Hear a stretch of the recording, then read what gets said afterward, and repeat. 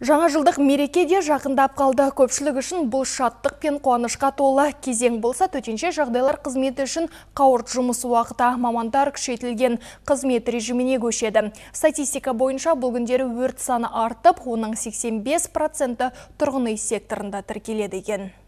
Жыл басынан бері облыс аумағында 731 өрт оқиғасы тіркелді. Тілсіз жау 53 адамның өмірін қиды. Тағы 41 адам ауыр дене жарақатын алды. Улы газдан көз жұмғандардың саны 6 адамға жетті. Ал материалдық шығын 250 миллион теңгені құрады. Алайда алдағы мереке күндері өрт оқиғаларының саны әлі де көбеюі мүмкін дейді төтенше жағдайлар қызметінің мамандары. Следует отметить, что большая часть Өрт оқиғаларының басым бөлігі тұрғын үй секторында болады. Жай күндері барлық өрттің 75%-ін құраса. Жаңа жыл мерекесі кезінде бұл көрсеткіш 85%-ке дейін артады. Оның бір себебі пиротехникалық құрылғыларды қолдану. Петардаларды тек рұқсат етілген жерден сатып алған жөн. Алдын ала оның сертификаты бар ма, жоқ па біліңіз. Жарған кезде шылым шегуге, жанғыш заттар мен тез жанатын заттардан алыс ұстаңыз.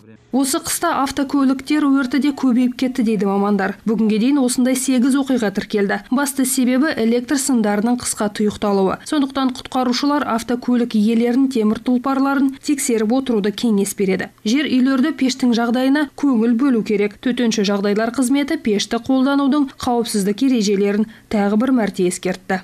Необходимо очистить дымоходы пеш мұржасын тазалап отыру керек. Пештің қабырғалардың жарығы болса жөндеп сылап қойыңыз. Алдына қаңылтыр темірді шегелеп қойған жөн. Қараша мен желтоқсан айларында ғана қаланың жеке тұрғын үй секторында 30 өрт шықты. Оның жартысы пештің ақауларынан пайда болды. Тағы 30% электр құрылғылардың істен шығуынан қазір құтқарушылар алдын алу шараларын күшейтіп пиротехника сататын жерлерді тұрғын үй секторын аралап рейд өткізіп келеді. Бұл мақсатта 83 қызметкерден тұратын 24 жедел топ құрылған. Әсел оразбаева райымбек бекожаев жаңалықтар қызметі.